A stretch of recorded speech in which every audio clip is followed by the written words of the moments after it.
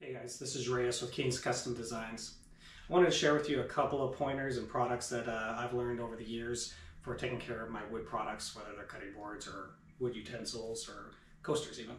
Um, one of the biggest things is if you're going to wash them, hand wash only, use some soapy water, and don't soak the product in the water. Um, and most definitely, don't put it in the dishwasher. Um, after that, after you've cleaned them and stuff, it's always great to maintain them uh, so with a food safe product. Um, I tend to use uh, cutting board oil. It's a little bit simpler. Uh, this is a Howard's product, available at most local uh, uh, hardware stores. It goes on, the first couple coats you're going to put on there, it's going to go on pretty liberally. Uh, let it set. Um, once it kind of dries off, wipe off some excess and put another coat on it after that.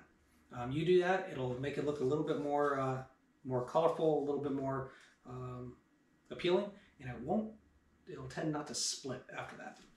Um, if you don't do that and it dries out, wood moves, wood cracks, um, so definitely keep it well oiled.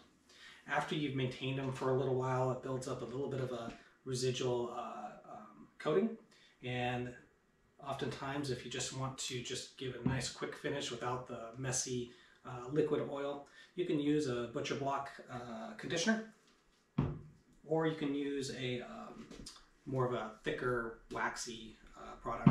These are great, but they will change the color just a little bit. It might turn a little bit yellow. Um, so if you have a lighter wood, just keep that in mind. So the other product I want to show you is going to be more for your wall art, your picture frames, and your exterior signs that need a protective coating on it.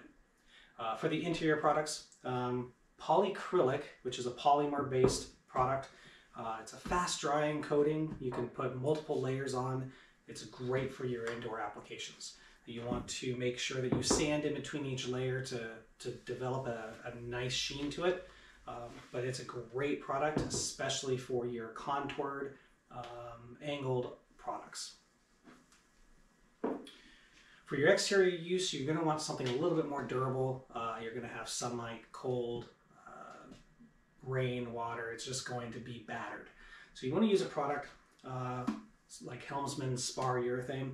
Same principle, you want to get a nice solid coating on it.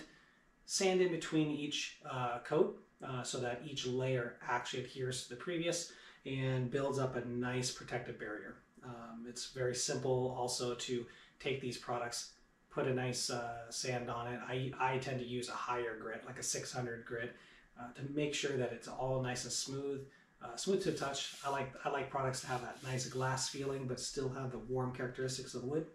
So these two products will achieve that without discoloring your original product.